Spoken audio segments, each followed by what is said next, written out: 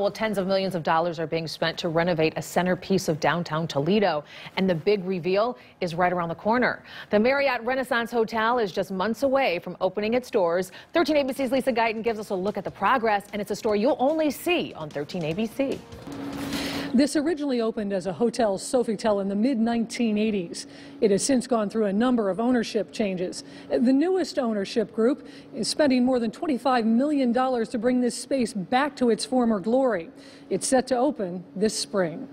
We are reconstructing the entire hotel from top to bottom. It has good bones, and so we're trying to bring that back and put our own stamp on it. And that stamp is starting to take shape. Six, nine months ago, we were just walking through a big old empty space and um, now we're seeing walls go up and frames go up and um, wallpaper and carpet and all the, the pretty things are coming to life. The inside of the hotel is inspired by all things Toledo. There will be references to Jeep, the glass industry, and MASH. The hit TV show will have a special space dedicated to it. The Renaissance is an upscale brand within the Marriott portfolio. There are 160 around the world. Every single one of them is different. There will be 241 guest rooms, 15,000 square feet of meeting space, and the biggest ballroom in Toledo.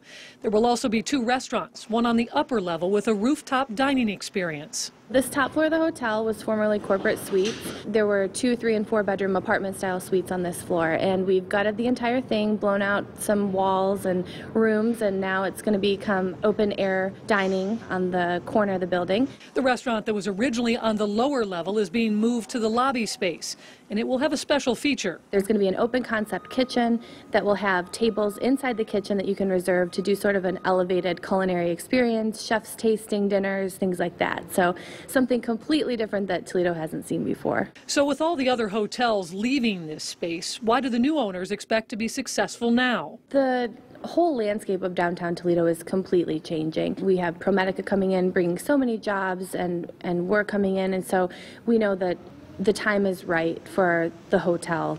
The hotel is set to open in mid-May, and you can already book your reservation.